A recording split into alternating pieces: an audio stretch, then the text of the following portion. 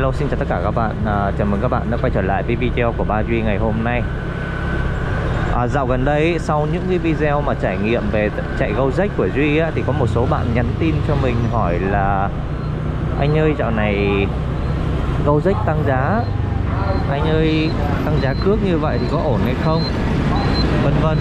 Thì à, mình xin tính chính lại luôn là những cái video trước ấy, là mình chỉ mượn tài khoản và mình chạy trải nghiệm thôi cho nên là mình không phải công việc của mình không phải là uh, tài xế Gojek chính nha.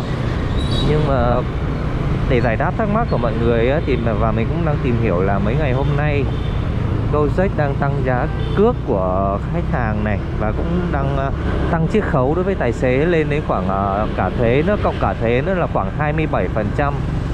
Thì ngày hôm nay Duy sẽ sắp xếp một buổi rảnh như thế này để thực hiện và trải nghiệm lại một lần nữa về Gojek để xem uh, thu nhập và cái mức trừ chiết khấu của tài xế là làm sao nha. Ờ, và đây là cái tài khoản mà Duy mượn. Ngày hôm nay lại tiếp tục và hôm nay Duy cũng có đồ luôn mượn cả đồ luôn.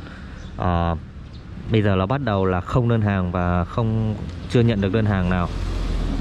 Ừ, và đây là số dư này còn 110 ngàn 110 ngàn ở đây thì mình vừa nãy mình có tìm hiểu lại á, thì à, ở đây có một cập nhật về giá cước này. Uhm, ở đây à, bên Gojek gửi cho tài khoản này á là có chỉnh sửa một số thông tin về giá cước nghĩa là uh, nhỏ hơn hoặc 2 km. Hồi trước ấy là 10.000 thì bây giờ đã tăng giá lên 11.000 GoSend này giao hàng thì vẫn vậy khoảng 15.000 và khi lớn hơn 2 km ấy, là tăng lên là 4.000 km so với khoảng là 3.600 đồng km đợt trước. Và Gosen là tăng lên 5.000 một km tiếp theo so với 4.000 của đơn hàng của lần trước. Phụ phí phụ phí ban đêm đối với Go Go uh, Buy đó là 10.000 trên một đơn hàng GoSend là không. Ờ, uh, GoFood thì cũng có một tăng giá nhẹ. Ok thì bây giờ thôi không nói nhiều dài dòng nữa. Thì bây giờ là gần 7 giờ rồi. Duy sẽ bật ứng dụng này lên. Và hôm nay Duy sẽ chạy đến 12 giờ trưa. Chạy liên tục đến 12 giờ trưa. Và chạy 5 tiếng đồng hồ để xem thu nhập có khác hay không nha Tại chiều nay Duy có việc bận cho nên là chỉ chạy được uh, buổi sáng ngày hôm nay thôi. Mọi người cũng theo dõi video của mình nha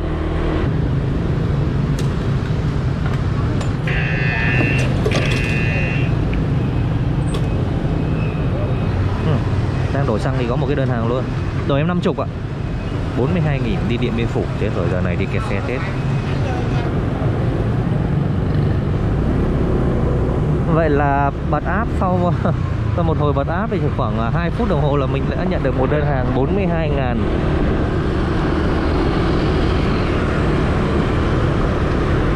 à, Mình nhắn tin cho khách cái đã à, thì mọi người có thể thấy này giá cước là giờ cao điểm nha. Bây giờ đang là giờ cao điểm là 42.000 và trong khi đó là bây giờ đã trừ đi trừ chiếc à, trừ tài khoản của tài xế là 12.800 đồng. 12.800 đồng so với cốt xe là 42.000 đấy là, là rất là cao đúng không? Mình đặt xe đi Điện Biên Phủ phải không ạ? À? Nhận ở trên gửi.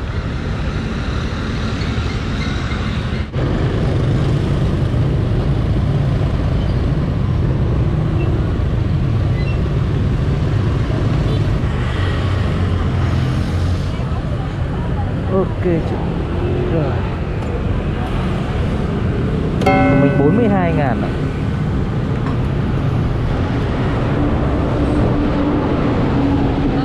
À, rồi mình cảm ơn. À, vậy là mình hoàn thành xong cuốc xe đầu tiên. Chạy gần uh, hơn 30 tiếng à, hơn 30 phút một chút 42 nghìn và khách đưa cho mình uh, 50 nghìn được bo 8 ngàn. Cuốc xe đầu tiên công nhận cái cốt xe này kẹt xe kinh khủng. Kẹt xe dã man con gan luôn với lại trời nắng nữa. Nhưng mà thực chị này dễ thương vô cùng. Ừ, cảm ơn chị vì cốt xe này. À, trong khi chờ đợi quốc tiếp theo thì mình uh, nói chuyện một chút nhỉ? Ừ, mấy ngày hôm nay thì uh, lướt facebook và youtube á, thì uh, thấy rất là nhiều thông tin về biểu tình của grab và bên ứng dụng be bên Grab thì mình chưa có trải nghiệm cho nên là mình không có rõ về cái giá cước và cái uh, chiết khấu của bên Grab như thế nào. Nhưng mà thấy rất là biểu tình mấy hôm nay rất là rầm rộ ở bên quận 7 và ở Hà Nội đối tác của Hà Nội nữa. Gojek này thì ờ, mình theo tìm hiểu thì mới tăng giá được ờ, tăng giá cước và tăng chiết khấu của tài xế được mấy ngày hôm nay. Lên 27% trước đó thì 20% nhưng mà bây giờ thêm 7% là không biết chắc có tăng thêm về phần thuế thuế thu nhập cá nhân hay là gì đó. À, 7% nữa là 27 theo mình biết là vậy. Cho nên ngày hôm nay mình mới trải nghiệm. Rồi đang nói chuyện thì có phút thứ hai này. Hmm. 33 ngàn. Nguyễn Thị Mỹ Trai đi Xô Viết Nghệ Tĩnh. Ok thì bây giờ mình sẽ đi đón khách nhắn tin cho khách cái đã đi nào let's go. Ra ngoài ra ngoài kìa. Xô Viết Nghệ Tĩnh phải không ạ? Rồi, mình đợi nó luôn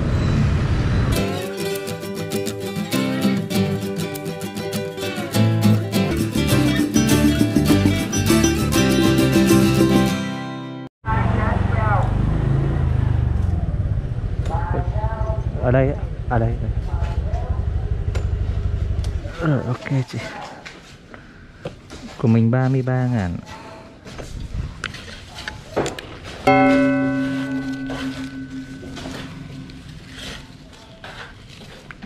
Đây rồi, gửi chị hai chục. Rồi, cảm ơn chị nhiều.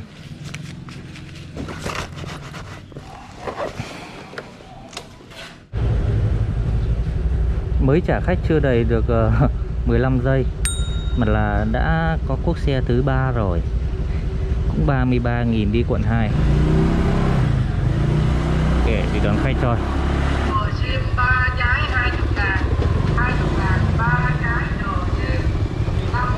À, đi thẳng luôn hả? À, ok Ok Rồi, mình lên xe đi Giờ đi làm hay đi học đây anh? À, em đang đi chưa làm gì hả? À. Anh hay đi cái này không? Anh hay đi Gojek này không? Bình thường anh đi giá cước nó có như bằng 33 ngàn này không hay là thấp hơn? Ờ, cao không? Cao không? 3, 3 ngàn Bình thường là buổi sáng giờ là 30 À 30, hôm nay là 33 cao hơn 3 ngàn. À ok. Em mấy bữa nay em thấy nó tăng giá, nó kêu tăng giá. Ừm, Vậy là mình mới hoàn thành xong cuốc xe thứ 3 Khoảng cách và giá cước bằng với cuốc xe thứ 2 33 ngàn và trừ tài khoản là 10.370 đồng. Ok. Giờ là 8 giờ 30 phút Chưa ăn sáng luôn. Ừ, mình nhận được đơn hàng uh, thứ tư rồi mọi người. 49.000 đi tạo Quang Bửu quận 8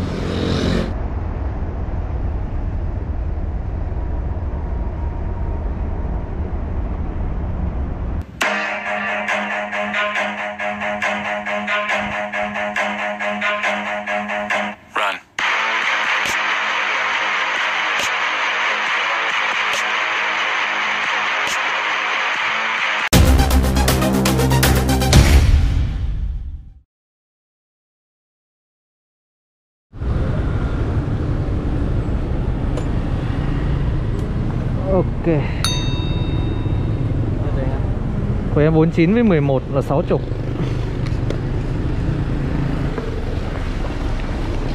Kết thúc chuyến xe thứ tư Vì à, khách à, đi xa hơn cho nên là mình phải thu thêm. Chuyến này 60 ngàn. À, Hiện tại thì bây giờ là 9 giờ 40 phút Và sau à, hơn 2 tiếng, gần 3 tiếng chạy xe ngày hôm nay ấy, Thì Dịch thực hiện được có 14 đơn hàng và sau khi trừ tất cả các loại thuế 27% đi thì Vi chỉ còn là 108.770 đồng. Ồ, đang nói chuyện thì có một cái đơn hàng luôn này 20 ngàn. Ok, nhận đơn luôn. Hay không? Đơn hàng 20 nghìn mà trừ mất 6.130 đồng rồi. Rồi, đi đón khách cái đã. Khách ơi, lâu quá nhờ đợi 5 phút rồi mà chưa thấy khách đâu cả.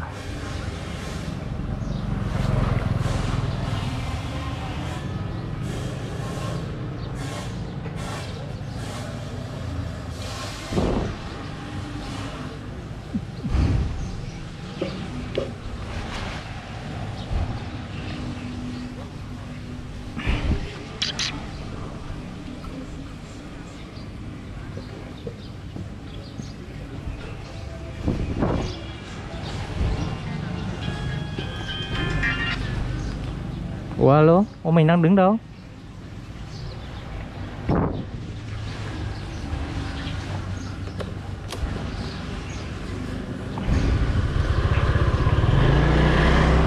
Ok, khách đứng ngay sau lưng.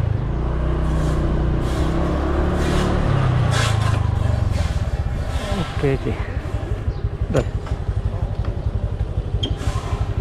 Rồi, mình lên xe đấy. ạ giờ mình đợi một chút. Ờ, của mình 20 ngàn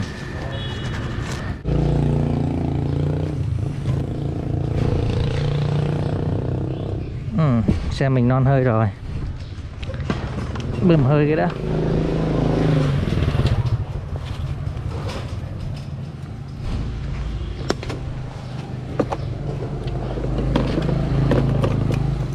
à, đây là một cái chiếc xe à, đây là một cái bơm xe mini của mình trong cốp mình luôn ờ, để sẵn nó ở trong ờ, cốp á. Tại vì mình hay đi xa, cho nên là để phòng ở đấy. Cái này rất là tiện. Mua ở trên Lazada thì có khoảng mấy chục ngàn thôi. Tám, chín chục nghìn cả ship à. Tương đối rẻ mọi người nên sắm một cái chiếc như thế này. Nếu mà đi xa thì chẳng may mà có bị hết hơi á, thì còn có cái mà bơm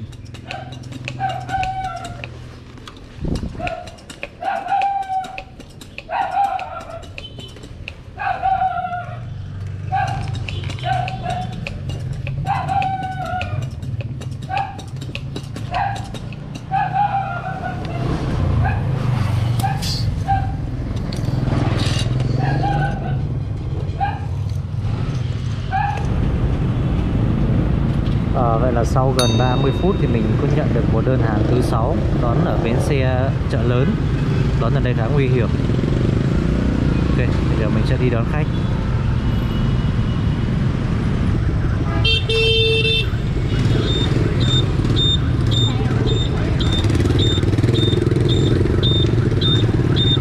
Mình đi đoàn Văn Bơ đúng không? Dạ đúng rồi Mình lấy lửa nào mình mấy nè Để dưới được đây rồi ok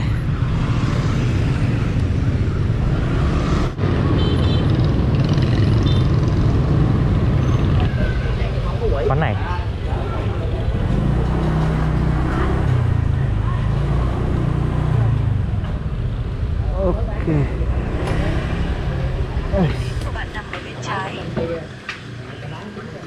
ok của mình 35 ngàn đây.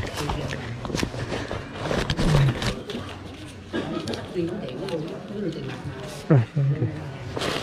Rồi, cho anh gửi này. Cảm ơn em. À, mình mới nhận được hàng thứ bảy rồi nha mọi người về sư vạn hạnh 32 ngàn. Đón ở Tôn Thất Thuyết cách đấy cũng xa đấy bây giờ nhắn tin cho khách rồi đi đón khách.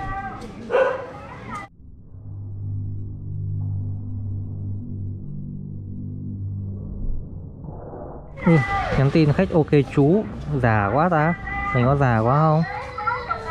Buồn ghê. Ui chà đây là hẻm chợ đồng quá.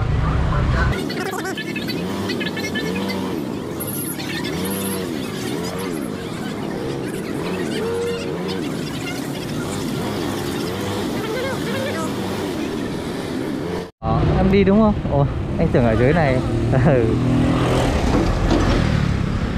Rồi em lên xe đi Ủa em sinh năm bao nhiêu ta? 99 ok chú luôn, nhiều khi buồn không muốn chảy luôn đã trời Trời ơi Đã tổn thọ ghê không?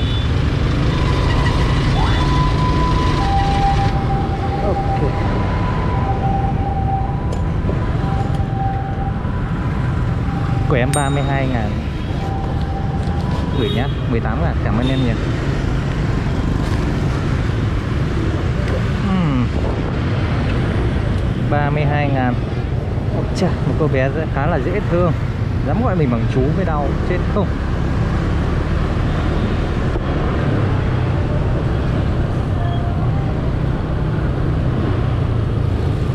À, Và bây giờ là 11 giờ 21 phút nữa khoảng khoảng 40 phút để trải nghiệm cái ờ, ngày hôm nay.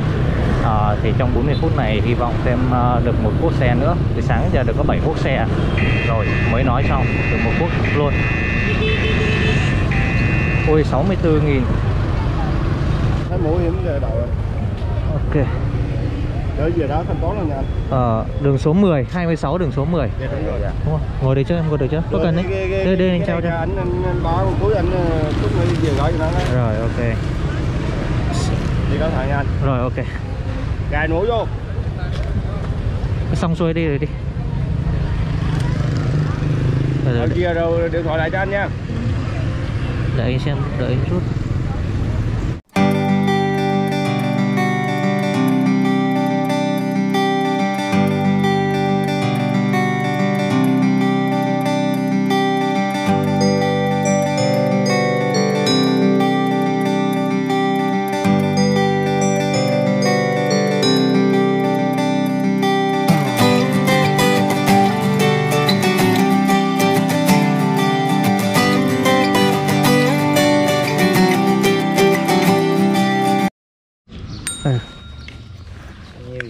164 nghìn.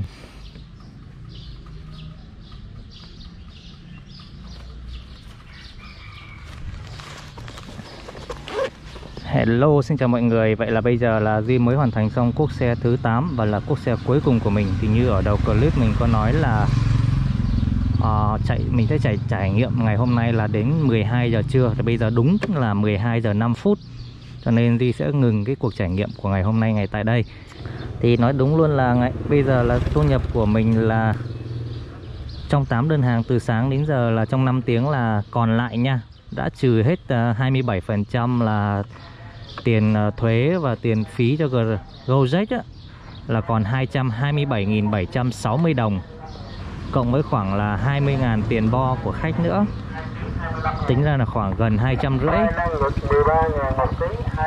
gần 250 và sáng ngày Di có đổ xăng là 50 nghìn, thì sáng giờ chạy hết khoảng 30 nghìn tiền xăng, thì tính ra là khoảng là còn lại dư là khoảng là 220 ngàn.